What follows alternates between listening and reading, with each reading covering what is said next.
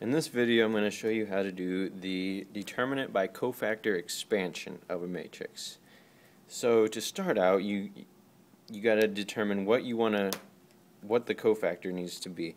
And it can be it can be anything. I mean you could have it's either going to be a row or a column. You can have do the cofactor expansion by the first row or the first first row or the first column or the second column or the third column or whatever. Let's example, let's just do it pretty straightforward by the first row. So the co our cofactor expansion is going to be by the first row.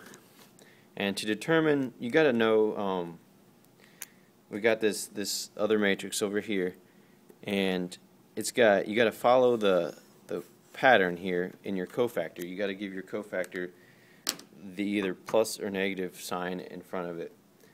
So to start out, let's just let's just solve it right here. So the determinant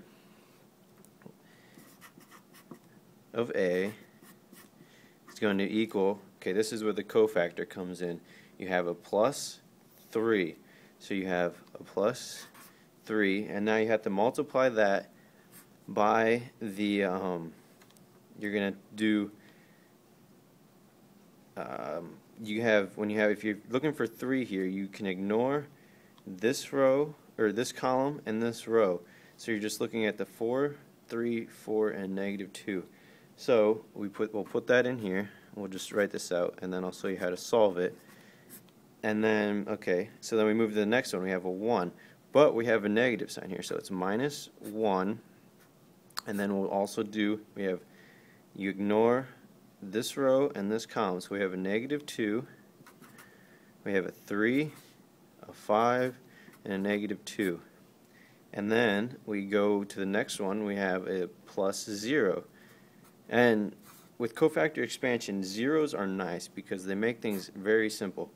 So we'll, we'll go ahead and write it out, but with that zero there, zero times anything is going to be zero. So we don't necessarily have to write it, but I will just, just for example's sake. So we'll write a negative 2, negative 4, 5, and 4. Okay, then we can go ahead and solve. So we'll just say equals 3, and then with this, with this little matrix here, what you're going to do is you're going to do this, you're going to multiply these two, and subtract from that, you're going to subtract this guy from that. So you're going to do, let's just do, it's 4 times um, negative 2, negative 4 times negative 2, so we got 8, and then we have minus uh, 4 times 3, which is 12. So you got 3 times 8 minus 12. And then we move on, we have negative minus 1 times, and then we have, so this is going to be a 4, so we have negative 2 times negative 2 is 4. And that, that's minus a 15. And then we have plus 0, and this is where the zeros are nice.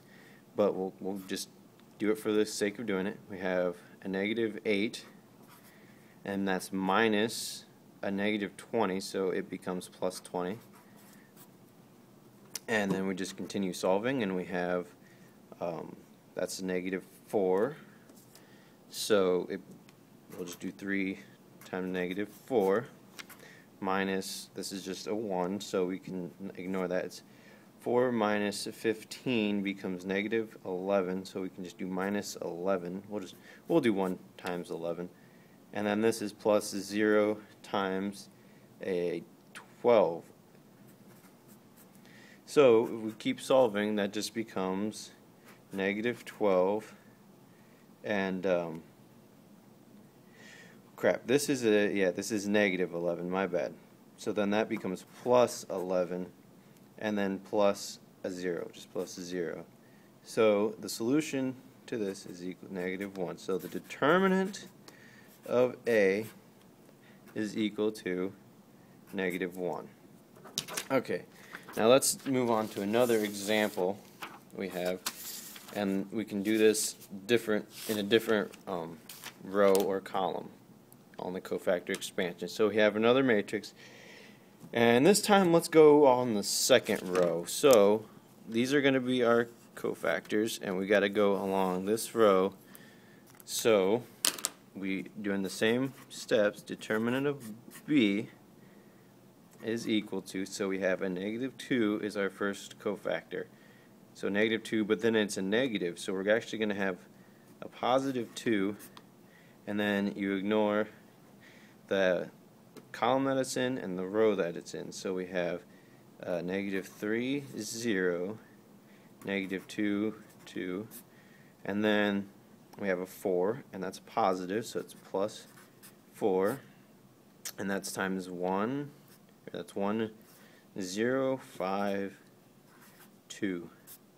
And then we have a 1 here with the minus sign, so it's minus 1 times 1 and then minus 3 ignoring the row the row in the column. And then we have 5 and negative 2 and then we just go through and solve it like we did in the last one.